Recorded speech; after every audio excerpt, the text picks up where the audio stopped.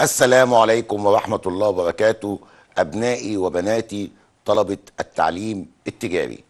أهلا بكم في حلقة مهمة جدا جدا جدا من مادة إدارة المشروعات لشعبة إدارة. طيب إحنا الحصة اللي في أول الحلقة اللي فاتت كنا بنراجع مراجعة ليلة الامتحان.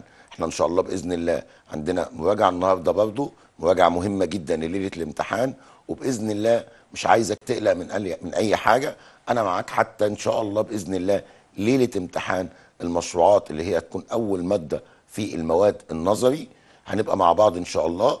هنبقى عاملين مراجعة كاملة عملي ونظري لأهم الحاجات المتوقعة بإذن الله إن شاء الله في الامتحان.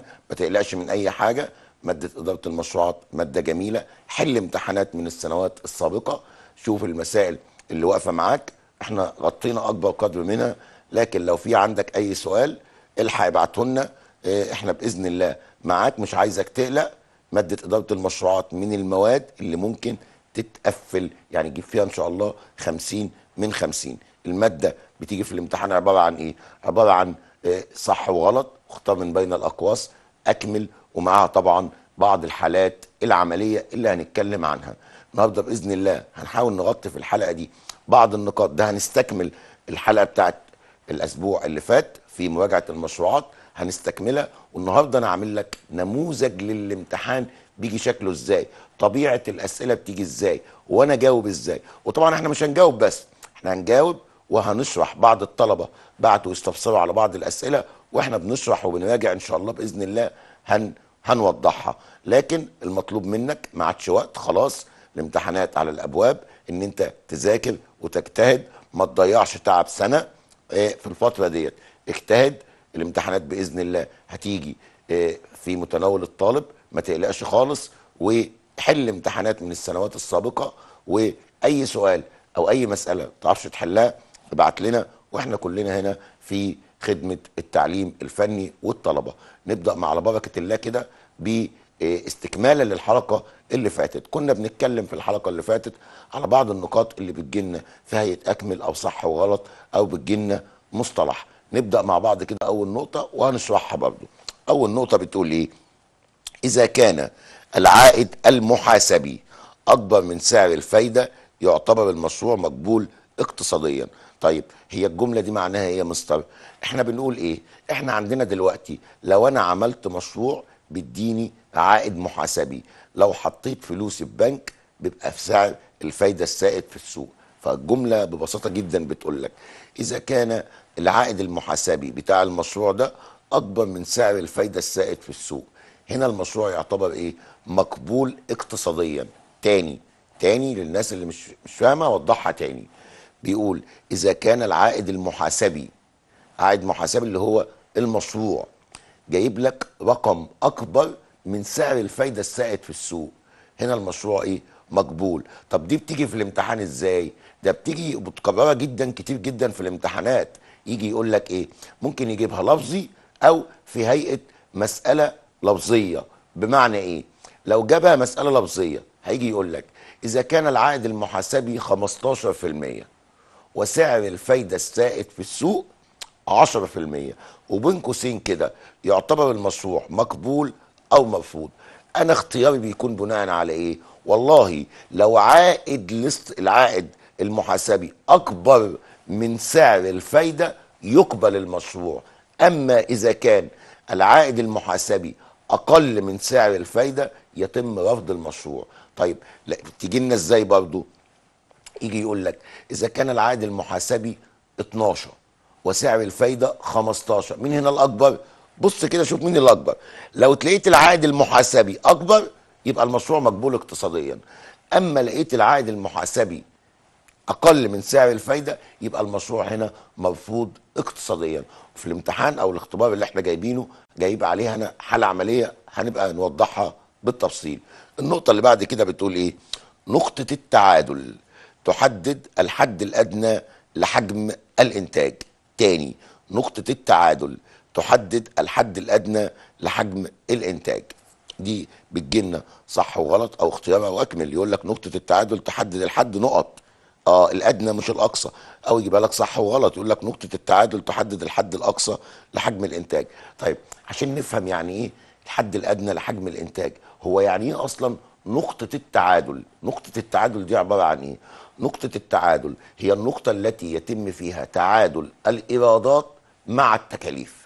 تاني نقطة التعادل هي النقطة التي تتعادل فيها الإيرادات مع التكاليف. يعني إيه؟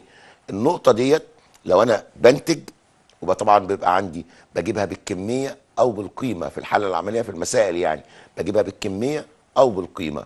طيب نقطة التعادل يعني إيه؟ النقطة اللي بيتعادل فيها الإيرادات مع التكلفة. الإيرادات مع الإيه؟ مع التكلفة. وطالما حصل تعادل يبقى هنا الأرباح مفيش. الأرباح هنا بتساوي صفر. طب أعمل إيه؟ يبقى نقطة التعادل دي بتحدد لي الحد الأدنى أقل إنتاج أنتجه عشان بعد كده أبتدي أكسب. يبقى الحد الأدنى ده أقل حاجة.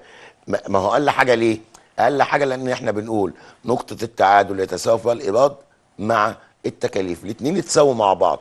عشان أنتج وأكسب لازم أنتج فوق نقطة التعادل. فوق فوق نقطة التعادل.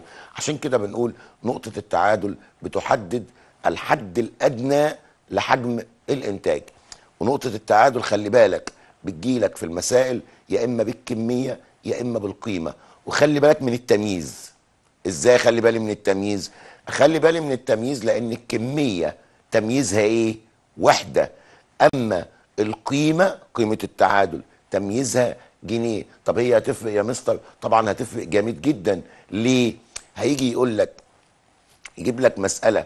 لو انت عارف ان كمية التعادل تمييزها وحدة وجايب لك اختيار وحدة وجنيه حتى المسألة انت مش عارفها لكن جايب لك الاختيار وحدة وجنيه طب ما انت عارف ان الكمية تمييزها إيه؟ برافو وحدة أما القيمة تمييزها جنيه. طيب كمية التعادل كنا بنجيبها إزاي؟ أفكرك بنجيبها إزاي؟ كمية التعادل بتساوي التكاليف على سعر بيع الوحدة ناقص التكلفة المتغيرة للوحدة. طيب تعالى مع بعض كده نشوف النقطة اللي بعد كده.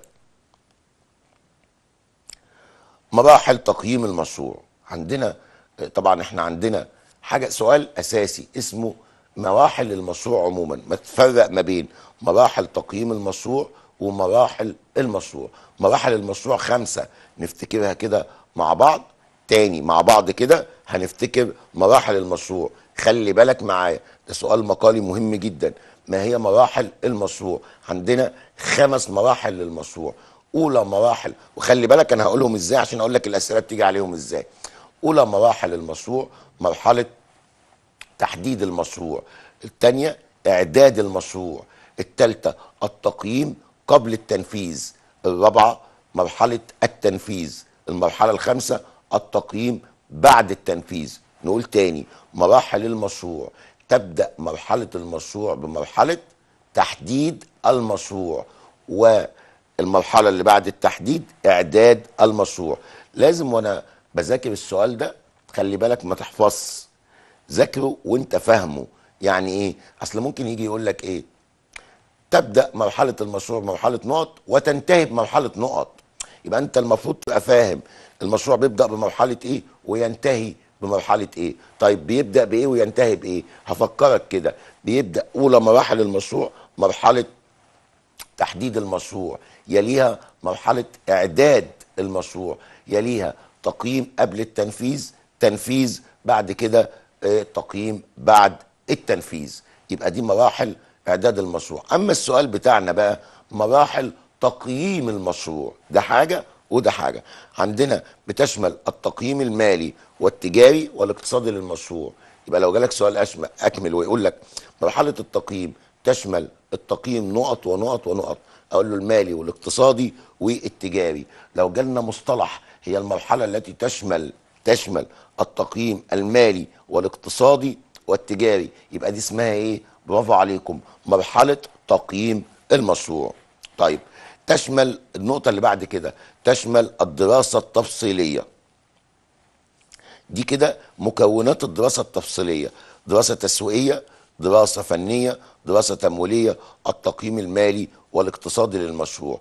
هو طب السؤال ده مجاله إيه يعني؟ إحنا قلنا قبل كده في المراجعة اللي فاتت ونقول تاني لحد ما تحفظ معانا عندنا دراسات الجدوى.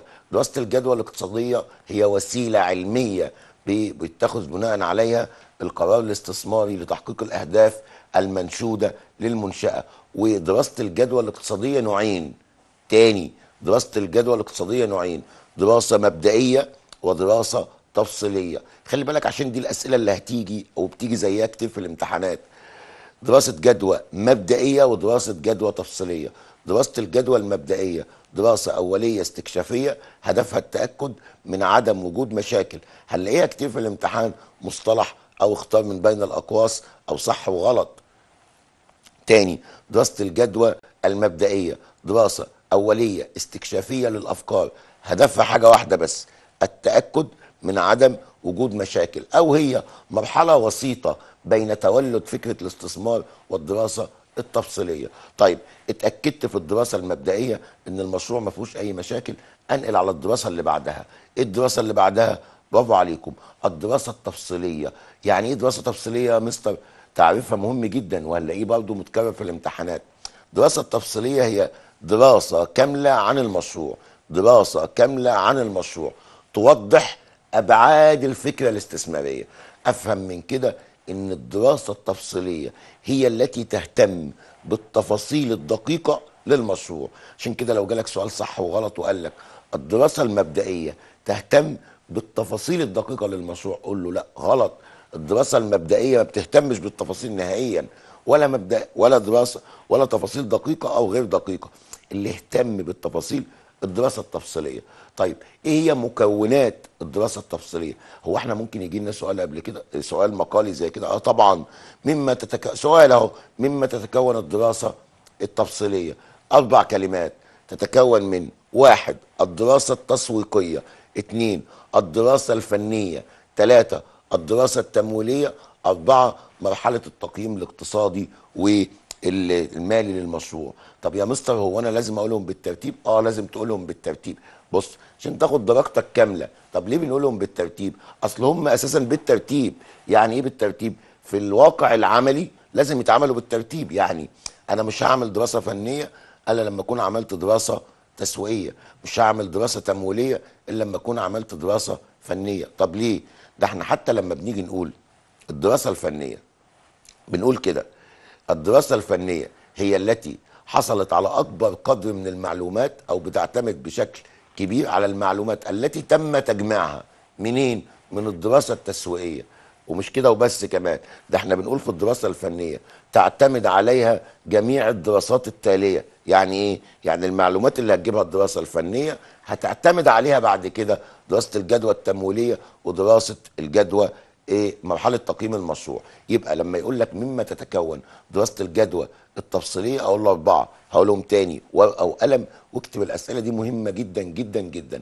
مما تتكون الدراسة التفصيلية تتكون من واحد واحد. دراسة جدوى تسويقية. اتنين دراسة جدوى فنية. تلاتة دراسة جدوى تمويلية. رقم أربعة مرحلة التقييم المالي والتجاري للمشروع. تعال مع بعض نشوف النقطة اللي بعد كده.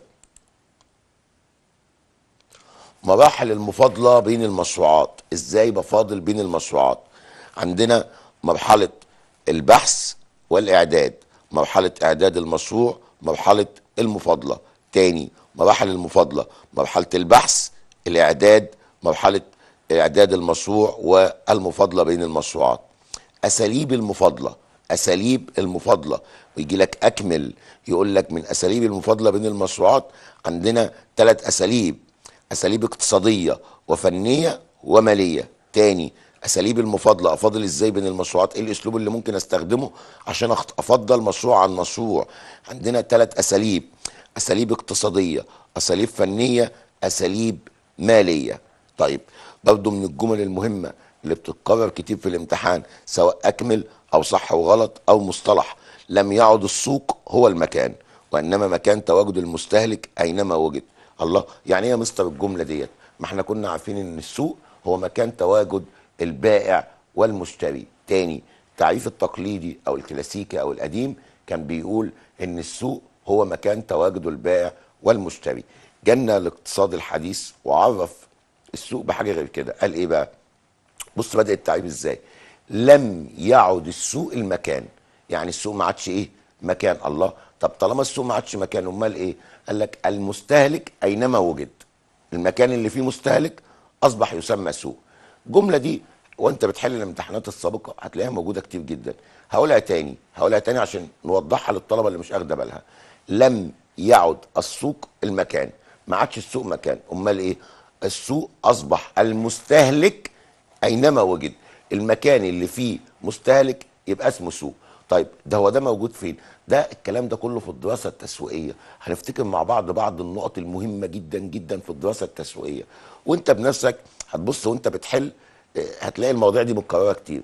الدراسة التسويقية أول حاجة في الدراسة التسويقية الدراسة التسويقية هدفها دراسة الطلب على منتجات السوق أو فحص السوق. يعني لو جالنا سؤال صح وغلط وقال الدراسة التسويقية ينتج عنها تدفقات داخلة أو خارجة وإحنا قلنا قبل كده كلمة تدفقات داخلة يقصد بها الإيرادات وتدفقات خارجة يقصد بها النفقات. طبعا الدراسة التسويقية ملهاش دعوة ولا بداخلة ولا بخارجة. الدراسة الفنية اللي لها دعوة بالكلام ده. الدراسة التسويقية هدفها دراسة الطلب على منتجات السوق أو فحص السوق. طيب برضو من ضمن الجمل المهمة جدا في الدراسة التسويقية التسويق مهم. التسويق إيه؟ مهم لدرجة أنه لا يترك لإدارة التسويق فقط. العالم عالم الاقتصاد كواتلر قال كده. التسويق مهم لدرجة أنه لا يترك لإدارة التسويق فقط. يعني إيه؟ التسويق ده حاجة مهمة مش هسيبه لإدارة التسويق فقط. كل اللي مسؤولين في المنشأة مسؤولين عن عملية التسويق. إدارة الإنتاج إدارة المخازن إدارة المبيعات إدارة المشتريات كل دول مسؤولين عن عملية التسويق. هقول الجملة تاني. التسويق مهم لدرجة أنه لا يترك لإدارة التسويق فقط. طب يا مستر هل في فرق بين البيع والتسويق؟ آه خلي بالك بقى. طبعا في فرق كبير جدا بين البيع والتسويق. اولا أول حاجة البيع البيع جزء من التسويق. تاني البيع جزء منين؟ من التسويق. عشان كده التسويق أعم وأشمل من البيع. طيب تمام. هو إيه الفرق بينهم أصلا؟ البيع أنا لازم أبيع حاجة موجودة. يعني إيه؟ المنتجات موجودة في المخزن. ومعدة للبيع. يبقى ده بيع مش تسويق. أمال التسويق إيه؟ ده التسويق أنا ممكن أسوق منتج أساسا مش موجود. يعني بنسمع كلمة التسويق العقاري. ليه؟ أنا فيه هبني قرية. لسه ما بنتهاش. يبقى دي هسوقها. التسويق كلمة كبيرة جدا. يبقى البيع جزء منين؟ من التسويق. والتسويق أعم وأشمل من البيع. كمان عندنا آه، مفهوم التسويق. يعني إيه كلمة تسويق؟ التسويق هنا أو المفهوم التسويق إن أنا بقدر ألبي رغبات واحتياجات المستهلك. رغبات واحتياجات المستهلك. اتكلمنا الحلقة اللي فاتت في عناصر المزيج التسويقي. هفكرك فيهم بسرعة كده. أربع عناصر للمزيج التسويقي. إيه هم؟ المنتج السعر التوزيع الترويج. تاني عناصر المزيج التسويقي أربعة منتج والسعر والتوزيع والترويج المنتج هو السلعة أو الخدمة التي ينتجها المشروع. أما السعر لابد أن يكون مقبول وعندنا طرق تسعير المنتجات أو آه، عندنا آه، طرق التسعير أو بسعر إزاي. عندنا السعر على أساس التكلفة السعر على أساس السوق السعر على أساس المنافسة السعر على أساس الطلبية. بس خلي بالك بقى في حاجة نقطة مهمة جدا هوضحها لك. بتقول إيه النقطة ديت؟ إذا كان سعر السلعة إذا كان سعر السلعة أو السلعة اللي أنا بنزلها يعني يوجد مثلها في السوق. يعني أنا هنزل سلعة يوجد مثلها في السوق. فأن يتم تسعيرها على أساس إيه؟ على أساس السوق. تاني إذا كانت السلعة يوجد مثلها في الأسواق فيتم تسعيرها على أساس الإيه؟ السوق. أما إذا كانت السلعة ليس لها وجود في الأسواق أو ليس لها مثيل في الأسواق يتم تسعيرها بطريقتين. هما الطريقتين دول. أول طريقة نسبة الإضافة تاني طريقة على أساس سعر المستهلك. يبقى تاني الجملة تاني دي مهمة جدا. الجملة بتقول إذا كانت السلعة يوجد مثلها في الأسواق يعني السلعة اللي أنا هنتجها في زيها في السوق. يبقى أنا لما أجي أسعر السلعة بتاعتي بسعرها على أساس السوق. أما إذا كانت السلعة ليس لها وجود في الأسواق أو ما فيش مثيل زيها فيسعر التسعير بطريقتين. إيه هما الطريقتين دول؟ أول طريقة نسبة الإضافة تاني طريقة التسعير على أساس المستهلك. طيب تعال نشوف النقطة اللي بعد كده بتقول إيه. التسويق ده طبعا مفهوم التسويق. التسويق هنا معناه هو السعي لإشباع رغبات واحتياجات المستهلك. وقلنا لسه قايلين التسويق أكبر من أن يترك لإدارة التسويق فقط. يبقى التسويق مهم لدرجة أنه لا يترك لإدارة التسويق فقط. طيب تعال بقى نشوف شكل الامتحان أو الأسئلة بتيجي إزاي في الامتحانات اعتمادا على الامتحانات السابقة. هنا بيقول لي إيه اختار الإجابة الصحيحة من بين الأقواس. إذا كانت تكلفة الوحدة 3 جنيه ونسبة الإضافة 25% فيكون سعر بيع الوحدة هل هو 3 ونص ولا 3 75 ولا 4 جنيه 75 الأول قبل ما نجاوب هو يعني إيه يا مستر نسبة الإضافة أصلا؟ يعني أنت بتقول لنا نسبة الإضافة. يعني إيه نسبة الإضافة؟ نسبة الإضافة دي النسبة التي يضيفها المنتج. النسبة اللي يضيفها مين؟ المنتج. بيضيفها على إيه؟ على سعر التكلفة. طب ليه؟ عشان يحقق ربح مناسب. تاني نسبة الإضافة. نسبة الإضافة هي النسبة اللي بيضيفها المنتج على سعر التكلفة. ليه؟ عشان يحقق ربح مناسب. طيب لما يجي يقول لك جايب لك مسألة وبيقول لك سلعة تكلفتها 3 جنيه يعني المنتج مكلف السلعة دي 3 جنيه وحاطط نسبة إضافة تمثل 25% منين؟ من التكلفة. خلي بالك التكلفة هنا تمثل نسبة 100% وهقول لك يعني إيه دلوقتي. أنا عشان أجيب سعر بيع السلعة مباشرة باخد التكلفة اللي هي كام؟ التكلفة عندك 3 جنيه واضربها في 125 على 100 الله مستر ده, ده هو جايب لك النسبة 25 انت ليه ضربت في 25 ع- ضربت في 125 على 100 عشان نجيب سعر البيع على طول. إزاي يا مستر هنجيب سعر البيع على طول؟ أقول لك إزاي. ال 25% هو ده اللي عايز يكسبهم. امال ال 100 دي ده التكلفة بتاعت السلعة. اي حاجة كاملة تمثل نسبة تكلفة 100% فأنا لما يجيب لي النسبة مثلا قال لي سلعة تكلفتها 100 جنيه وهو عايز يكسب فيها 20% يبقى أقول له 100 في 120 على 100 ال 20% اللي عايز يكسبهم بالإضافة للتكلفة اللي تمثل نسبة 100% الناتج بقى يطلع لك سعر البيع المتوقع على طول. يعني إيه؟ يعني لو كانت سعر التك... هو في المسألة دي قايل لك التكلفة 3 جنيه. تكلفة كام؟ 3 جنيه. ونسبة الإضافة 25% أجيب سعر البيع إزاي؟ برافو عليكم. أي نسبة زود عليها 100 يبقى 3 في 125 على 100 هتدينا 3 جنيه 75 قرش. يبقى تاني أما يجيب لك والمسألة دي لو أنت بصيت في امتحانات السنين السابقة هتلاقي النقطة دي موجودة في كل الامتحانات يبقى نركز عليها. النقطة بتقول إيه؟ هيجيب لك سلعة يقول لك تكلفتها كذا ونسبة الإضافة كذا. هات سعر البيع. هجيبه إزاي؟ هقوم قايل التكلفة في النسبة اللي مديها لك أزود عليها 100 وأضربها يعني مثلا هقول مثال تاني سلعة يعني نبص كده في المثال اللي قدامنا ده. إذا كانت تكلفة 3 جنيه التكلفة كام؟ 3 جنيه ونسبة الإضافة 25% يبقى هضرب 3 في 125 على 100 هيديك على طول سعر البيع المتوقع اللي هو 3 جنيه 75 تعال مع بعض نشوف النقطة التانية بتقول إيه؟ بتقول إذا كانت التكاليف الثابتة خمسين ألف والتكاليف المتغيرة للوحدة سبعة جنيه وسعر بيع الوحدة 12 جنيه احسب نقطة التعادل بالكمية. طيب المسألة بتقول إيه؟ تاني المسألة عشان نخلي بالنا من المسألة ونكتبها. إذا كانت التكاليف الثابتة خمسين ألف جنيه والتكاليف المتغيرة سبعة جنيه وسعر بيع الوحدة 12 جنيه فإن نقطة التعادل بالكمية تكون هل هي 10000 وحدة ولا 10000 جنيه؟ طيب خليك معايا بقى. هو أنا يا مستر ممكن أعرفها كده من غير ما أحل المسألة؟ آه ممكن تعرفها كده من غير ما تحل المسألة بس إحنا هنقول الاتنين. هنقول نحلها إزاي؟ ونقول كمان ممكن أعرفها إزاي من خلال إن أنا ما أحلش المسألة بس عارف نقطة كده فنية أعرف أجيبها بيها. هقول لك إزاي. إحنا عندنا نقطة التعادل. نقطة التعادل من المسائل اللي بتتكرر كتير جدا جدا جدا في الامتحانات. بس أنت خلي بالك معايا عشان تفهم أنا بقول إيه. نقطة التعادل ديت عبارة عن إيه؟ هي النقطة اللي بيتساوى فيها الإيراد مع التكلفة. تمام. والأرباح هنا طبعا ما فيش أرباح الأرباح بتساوي صفر. بجيبها إزاي؟ بجيبها بطريقتين. يا إما عن طريق كمية التعادل أو قيمة التعادل. طب كمية التعادل دي عبارة عن إيه؟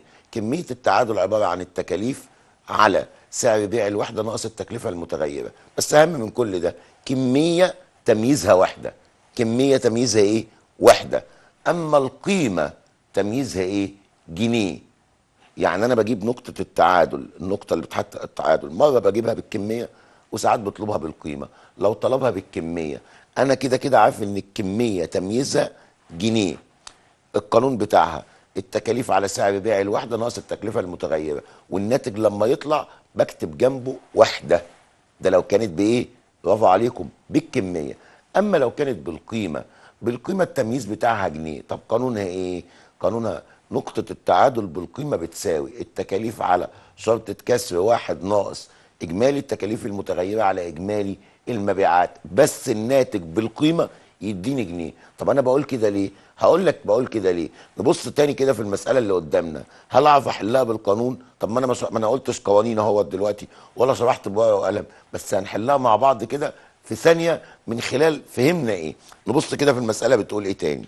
بتقول إذا كانت التكاليف خمسين ألف جنيه والتكاليف سبعي سبعة جنيه وسعر بيع الوحدة 12 فإن نقطة التعادل بالكمية أنا لسه قايل من شوية الكمية تمييزها إيه؟ برافو عليك وحدة يبقى أنا هنا مش محتاج أحل المسألة لو مش طالبها مني ليه؟ لأن أنا عارف طالما طالب بالكمية يبقى التمييز إيه؟ وحدة وهنا جايب لك جنيه ووحدة يبقى الاختيار هيبقى إيه؟ برافو عليكم الاختيار هيبقى 10000 وحدة لكن لو جاية لي مسألة وحلها آه هقول خمسين ألف على 12 ناقص 7 خمسين ألف التكاليف الثابتة 12 سعر بيع الوحدة 7 جنيه التكلفة المتغيرة للوحدة هيديك ال 10000 وحدة. شوف النقطة اللي بعدها. أصدر مشروع أسهم ممتازة بقيمة اسمية للسهم 220 جنيه والتوزيع المحدد 10% للسهم وصافي قيمة السهم 200 جنيه. فإن تكلفة الأسهم الممتازة تكون كل اللي هعمله هقول له تكلفة الأسهم الممتازة بتساوي التوزيع الثابت على صافي قيمة السهم في 100 التوزيع الثابت على صافي قيمة السهم في 100 واختار الإجابة الصحيحة. النقطة اللي بعد كده. المشروع عندما يكون معدل العائد للمتوسط 9% وسعر الفايدة السائد في السوق 8% يقبل ولا يرفض المشروع؟ تاني المشروع عندما يكون معدل العائد المتوسط 9 وسعر الفايدة 8 يقبل ولا يرفض؟ إحنا لسه قايلين من شوية. قلنا إيه؟ قلنا لو معدل العائد المتوسط أكبر من سعر الفايدة يقبل المشروع. أما لو العكس لو سعر الفايدة هو الأكبر كنا قلنا يرفض المشروع. النقطة اللي بعد كده. يتكون الاستثمار الثابت من نقط ونقط من استثمارات ملموسة واستثمارات غير ملموسة. طيب اكتب اسم المصطلح. المصطلحات دي مهمة جدا. وورقة وقلم واكتب أسامي المصطلحات اللي إحنا بنقولها ديت. اكتب اسم المصطلح.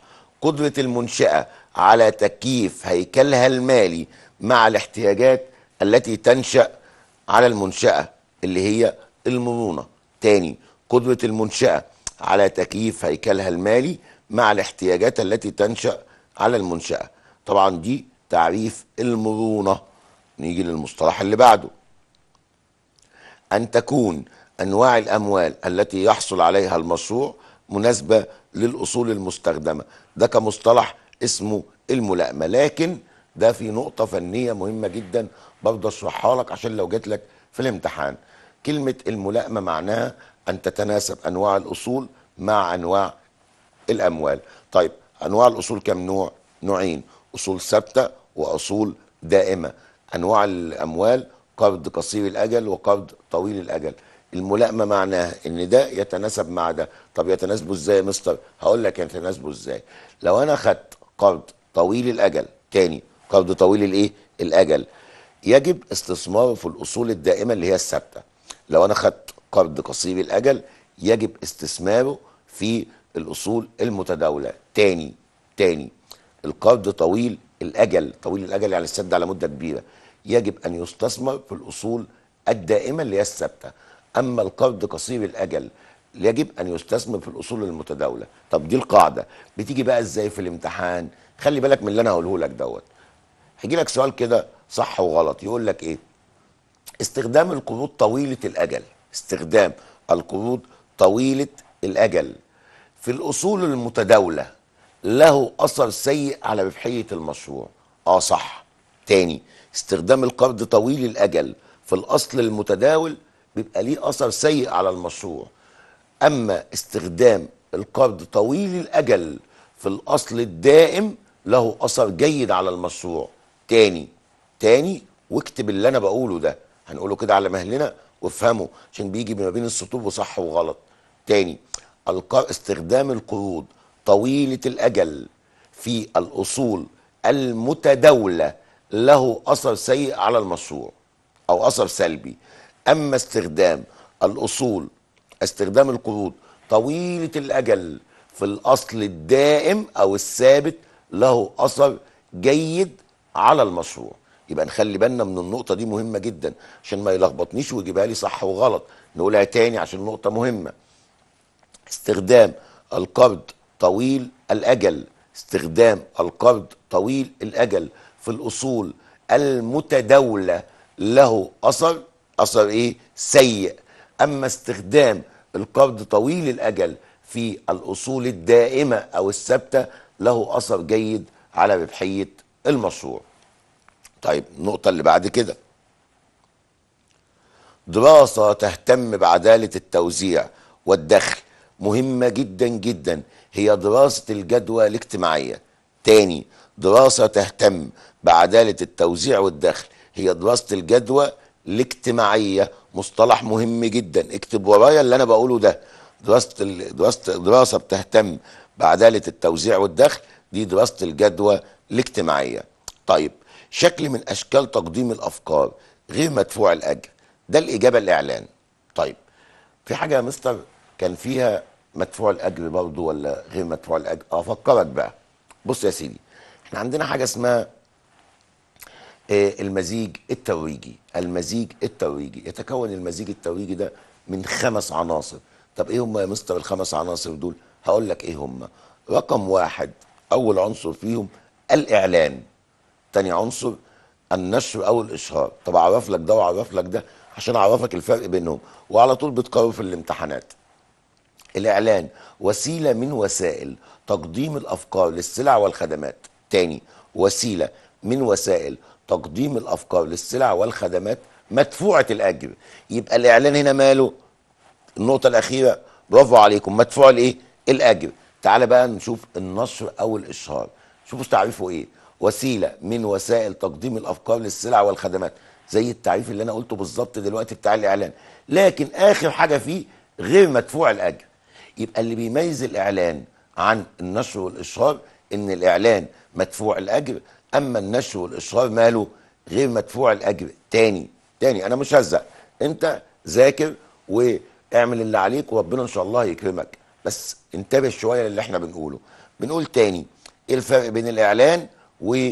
والنشر والاشهار الإعلان وسيلة من وسائل تقديم الأفكار للسلع والخدمات. خلي بالك ممكن يجي لك سؤال أكمل. يقول لك الإعلان وسيلة من وسائل تقديم الأفكار لنقط ونقط.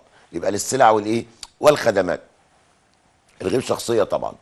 بس ماله؟ مدفوع الأجر. أما أما النشر أو الإشهار وسيلة من وسائل تقديم الأفكار للسلع والخدمات بس مالها بقى غير مدفوعة الأجر. يبقى دول الإعلان والنشر. رقم ثلاثة في المزيج الترويجي عندنا تنشيط المبيعات. يعني إيه تنشيط المبيعات؟ تنشيط المبيعات جميع الحوافز اللي أنا بعملها للمستهلك عشان يشتري. بحفز المستهلك بنشط المستهلك عشان أنشط أنا مبيعات أنا كمان. يعني إيه أحفز المستهلك؟ يعني نخش كده مكان يقول لك مثلا إيه؟ اشتري ثلاث قطع تحصل على القطعه الرابعة مجانا. ده اسمه تنشيط مبيعات. اشتري ب 1000 جنيه تاخد خصم 15% ده اسمه تنشيط مبيعات. يبقى تنشيط المبيعات معناه إيه؟ حافز أنا بعمله للمستهلك عشان يشتري. يبقى كده عندك ثلاثة إعلان مدفوع الأجر. خلي بالك من الكلام. إعلان مدفوع الأجر. نشر إشهار غير مدفوع الأجر. تنشيط المبيعات حافز. نيجي لرقم أربعة. البيع الشخصي. يعني إيه البيع الشخصي؟ عملية بيع شفوية قائمة على الإقناع. تاني عملية بيع شفوية قائمة على الإقناع. يعني إيه البيع الشخصي ده عملية بيع شفوية كلام قايمة على الإقناع. يعني البائع بيفضل يتكلم ويحاول يقنع المستهلك بشتى الطرق ودي موجودة عندنا كتير. اللي هي بتقابلنا حد يجي يخبط على البيت إحنا معاه يجي يقول لك مثلا إحنا معانا طقم كذا وبنبيعه ويفضل ربع ساعة يكلمك على المنتج ومواصفاته. قد يكون المنتج ده مش سيء الراجل ده بيروج للسلعة بتاعته عن طريق حاجة اسمها البيع الشخصي. أفكرك تاني وأقول لك الإعلان اكتب الكلام ده الإعلان مدفوع الأجر. النشر والإشهار غير مدفوع الأجر. تنشيط المبيعات هو حافز للمستهلك. البيع الشخصي هي عملية بيع شفوي قائمة على الإقناع. فضل آخر حاجة العلاقات العامة وده مصطلح مهم جدا. هي وسيلة اتصال المنظمة بجمهورها. تاني العلاقات العامة وسيلة اتصال المنظمة بجمهورها. يبقى كده المزيج الترويجي عندك خمسة. يبقى المزيج الترويجي خمسة. الإعلان نقول تاني مع بعض. الإعلان ماله؟ مدفوع الأجر. النشر والإشهار غير مدفوع الأجر. تنشيط المبيعات هو حافز للمستهلك. البيع الشفوي هي عملية أو البيع الشخصي عملية بيع شفوية قائمة على الإقناع. إيه عندنا تنشيط الم... العلاقات العامة هي وسيلة اتصال المنظمة بجمهورها. نشوف السؤال اللي بعد كده. اختار أرقام العبارات الخاطئة فقط. خلي بالك من السؤال ده. هو إحنا يا مستر ممكن سؤال يجي لنا زي اللي مكتوب ده؟ اختار أرقام العبارات الخاطئة فقط؟ آه ممكن يجي لنا سؤال زي كده. هو هنا عايز إيه بقى في السؤال؟ الأول قبل ما اجاوب هو عايز إيه؟ عايز أرقام العبارة الخطا يعني مثلا أول جملة دي خطأ رقمها واحد يبقى هي دي. خلي بالك السؤال ده اتكرر في امتحان 2018 واتكرر في امتحانات كتير. يجي السؤال يقول لك إيه؟ اختار أرقام العبارة الخطأ فقط. الأول أنا هشرح إزاي أجاوب؟ طيب عندنا مثلا سبع نقط أو ثمان نقط. طبعا السؤال في الامتحان بيجي واحد اتنين تلاتة أربعة العبارات اللي جايبها لك اللي أنا أقول صح أو إيه أو خطأ. فهو بيقول لي اختار منهم أرقام العبارة الخطأ فقط. هنفترض إن أول جملة خطأ. ما اكتبلوش أول جملة بقى. امال اعمل إيه؟ اختار الرقم يبقى أحط له واحد. واحد دي غلط. بعدها رقم ثلاثة كانت غلط أحط ثلاثة زي ما هنشوف دلوقتي في النموذج اللي إحنا جايبينه ده. طيب نبص كده على أول حاجة في اختار أرقام العبارات الخطأ. أصحاب القروض يتحملون مخاطر أعلى من حملة الأسهم. أصحاب القروض يتحملون مخاطر أعلى من حملة الأسهم. طيب هو يعني إيه مستر حملة الأسهم؟ ويعني إيه حمله القروض طبعا إحنا عندنا صاحب المنشأة عندنا في حاجة اسمها مصادر تمويل المشروع. مصادر تمويل المشروع. أربع مصادر لتمويل أي مشروع. وده سؤال بيجي لك مقالي. أول حاجة التمويل الداخلي. وده عن طريق أملاك أصحاب المشروع اللي هو الأسهم والسندات. تمويل داخلي يعني أنا كصاحب مشروع عايز أزود رأس المال. فما بجيبش من بره بجيب من جوه. من جوه منين؟ من المساهمين اللي هم ملاك المشروع. بزود رأس المال بتاعي عن طريق الأسهم والسندات. يبقى خلي بالك أسهم وسندات يبقى اسمه تمويل إيه؟ داخلي. يبقى تمويل ملاك أصحاب المشروع يسمى تمويل داخلي ولا خارجي؟ برافو عليكم تمويل داخلي. أمال يعني إيه بقى تمويل خارجي؟ تمويل الخارجي معناه الاقتراض من البنوك أو المنشأة المش... الشركات اللي بتساهم في المشروعات زي تنمية المشروعات الصغيرة وخدمة المستثمر الصغير كل ده تمويل خارجي يعني من بره. يبقى إحنا عندنا دلوقتي نوعين من التمويل.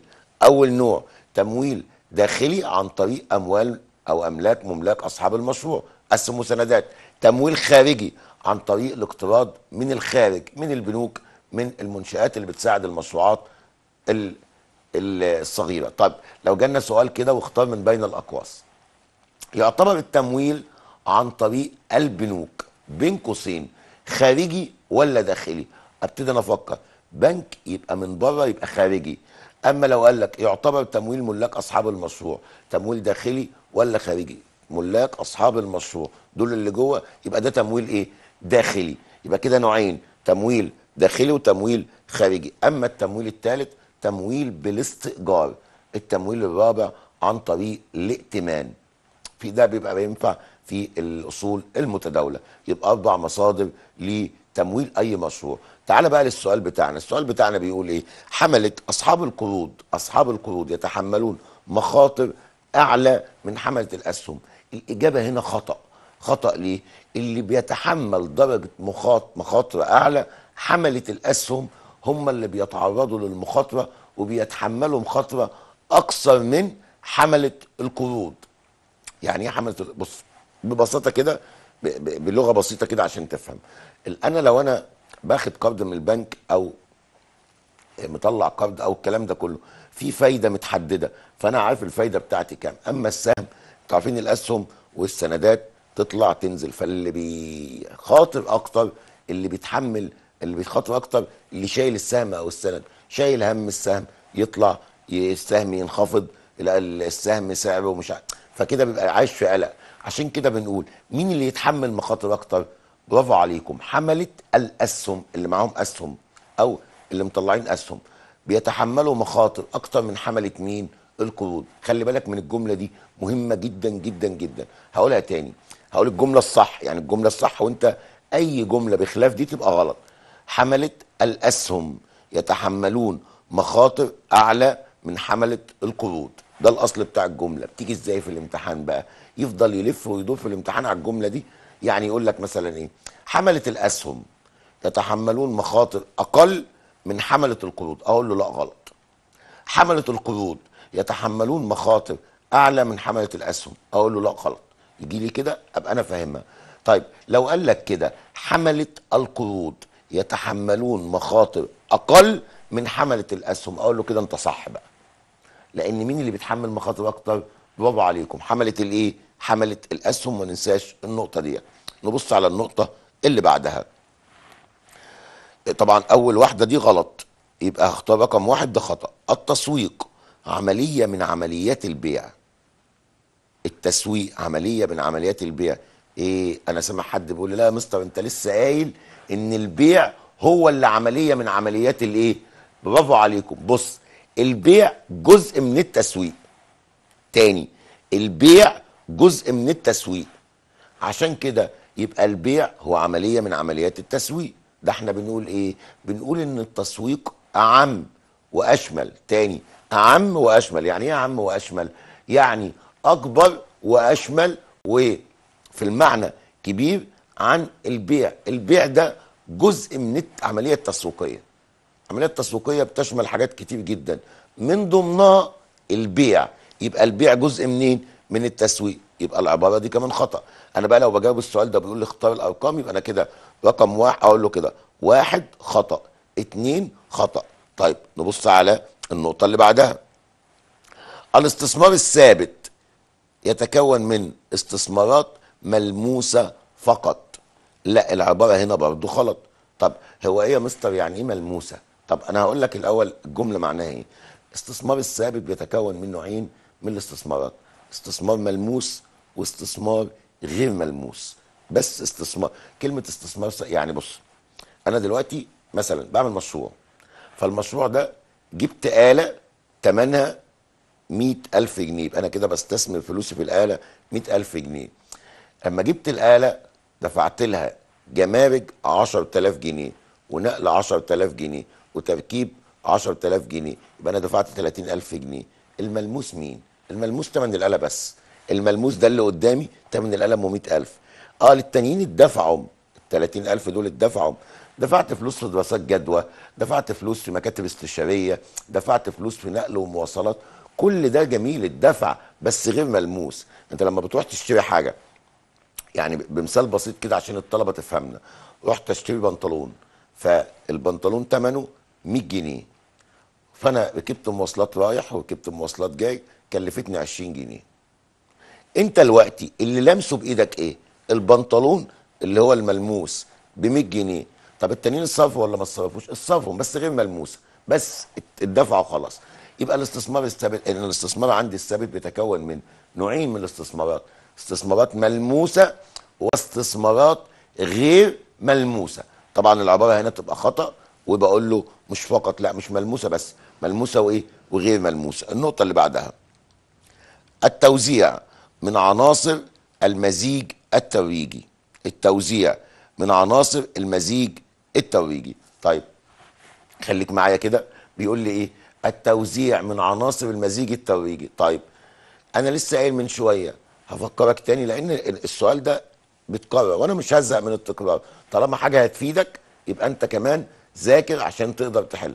بص عناصر المزيج التسويقي أربعة. إيه هم؟ منتج سعر توزيع و إيه وكمان عندنا المزيج الترويجي. هو بيقول لي بقى ده كده عناصر المزيج التسويقي. أما عناصر المزيج الترويجي خمسة. لسه قايلينهم. إعلان تمام؟ نشر وإشهار. وإيه تاني؟ والبيع الشخصي والعلاقات العامة وتنشيط المبيعات. هو جايب لك واحدة بيقول لك بقى إيه؟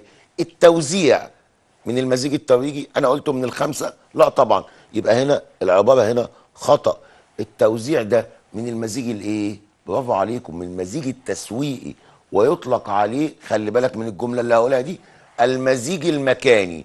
طب ليه؟ خلي بالك عشان المصطلح. التوزيع هو مكان تواجد السلعة. تاني التوزيع هو مكان تواجد الإيه؟ السلعة. يجي يقول لك ده علامة صح أو غطأ أو خطأ. السوق هو مكان تواجد السلعة. أقول له لا خطأ. التوزيع هو اللي مكان تواجد السلعة. آه خلي بالك من النقطة ديت. لو أنت مش مذاكر آه ده جملة جميلة سهلة. بيقول لي بيقول السوق هو مكان تواجد السلع آه صح. لا هي خطأ. التوزيع هو مكان تواجد السلع عشان كده بيطلق عليه التوزيع المكاني. نيجي للنقطة اللي بعدها. يجب على الشركة التي تتجه مبيعاتها نحو الانخفاض أن تستخدم القروض في هيكلها. جملة كبيرة قوي يا مستر. يعني إيه؟ طيب في عندنا الشركة لما مبيعاتها في عندنا حاجة اسمها العوامل التي تؤثر في الهيكل التمويلي. يعني إيه؟ لما أجي أعمل هيكل للتمويل بتاع المشروع بتاعي في عوامل كده ببقى. لازم آخد بالي منها. من. من ضمن العوامل دي؟ الملائمة اللي إحنا قلناها والمرونة وحجم الشركة وحجم المبيعات. بمعنى إيه؟ إذا كانت مبيعات الشركة ده دي حاجات اقتصادية بتفيد المشروع الصغير. بتقول إيه؟ إذا كانت مبيعات الشركة تتجه نحو الارتفاع. نحو الإيه؟ الارتفاع. فأنا ممكن في الحالة دي يعني ارتفاع يعني ببيع إيه؟ كتير. طب بكسب ولا بخسر؟ بكسب. كده أنا ممكن أقترض وأنا متأكد إن أنا هسدد القرض ده. أما إذا كانت مبيعاتي تتجه نحو الانخفاض فعلى الشركة أن تتجنب القروض. يعني إيه؟ ما تحطش قروض في هيكلك المالي. طب ليه؟ هو أنت دلوقتي مبيعاتك بتنخفض. طب مبيعاتك بتنخفض ديت يعني بتخسر ولا بتكسب؟ آه بدأت تخسر. بدأت تخسر يعني الالتزامات اللي عليك ما بقتش قادر تدفعها. تقوم تيجي تقترض قرض تاني وتزود التزاماتك. كده العبء هيبقى كبير جدا. فاحنا بالنصيحة يعني مش إحنا في المنهج بيقول بيقول إذا كانت مبيعات الشركة تتجه عن نحو الارتفاع فممكن تحط في هيكلها المالي القروض. أما إذا كانت مبيعات الشركة تتجه نحو الانخفاض فعلى الشركة تجنب الاقتراض ووضع القروض في هيكلها المالي. يبقى ما تقترضش الشركة لما تكون مبيعاتها بتنخفض. النقطة اللي بعد كده. تنقسم عناصر المشروع إلى تدفقات نقدية خارجة ونقط ونقط. من ضمن الأسئلة المهمة جدا جدا عناصر المشروع ثلاث عناصر. تاني عناصر المشروع ثلاث ثلاث عناصر. التكاليف الإيرادات وعمر المشروع. تاني تكاليف إيرادات عمر المشروع. التكاليف اوعى تنسى. التكاليف تسمى تدفقات نقدية خارجة أما الإيرادات تسمى تدفقات نقدية داخلة. عمر المشروع يعني فترة زمنية. طب ده بيجي في الامتحان؟ طبعا بيجي لنا في الامتحان. ممكن يجي يقول لك كده. اختار الإجابة الصحيحة من بين الأقواس. تعتبر التكاليف تدفقات نقدية بين قوسين داخلة ولا خارجة؟ تكاليف يبقى خارجة. بينما الإيرادات تدفقات نقدية إيه؟ داخلة. طيب تعريف المشروع أوعى ننساه. المشروع هو نشاط تستخدم فيه الإيه؟ تستخدم فيه الإيه؟ الموارد وتنفق من اجله الأموال من أجل الحصول على منافع متوقعة في فترة زمنية معينة. أهو التعريف ده اللي فيه العناصر. إزاي؟ المشروع نشاط تستخدم فيه الموا- الموارد وتنفق من اجله الأموال. اللي هيتنفق اللي هيخرج من جيبي اسمه إيه؟ اسمه تكاليف وطالما خرج من جيبي يبقى اسمه تدفقات نقدية داخلة من أجل الحصول على عوائد فلوس أو حاجات هتدخل جيبي. يبقى الإيرادات اسمها تدفقات نقدية داخلة. نشوف كده السؤال الأخير معانا. المنتج من عناصر المزيج برافو التسويقي بينما النشر والإشهار من عناصر المزيج الترويجي. لم تعد كلمة السوق تعني المكان.